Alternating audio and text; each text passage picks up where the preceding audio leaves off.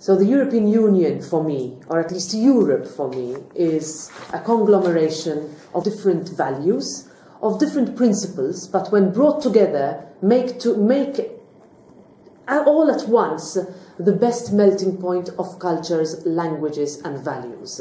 I am proud to be one of, or to bring to the table one part or one part of 28 different cultures, values, and principles in order to add value to what we're discussing today. But ultimately, we need to move from discussion to action. And I would like to make sure that where I come from, what I do, how I speak, and what I believe in translates into something concrete and successful for every Maltese and Gozitan citizen of the European Union.